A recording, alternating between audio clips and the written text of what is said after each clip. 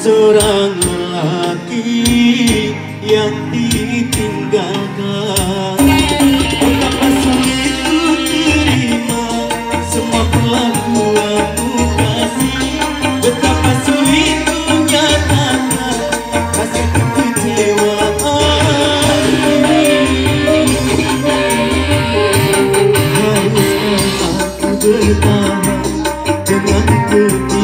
दुर्गाया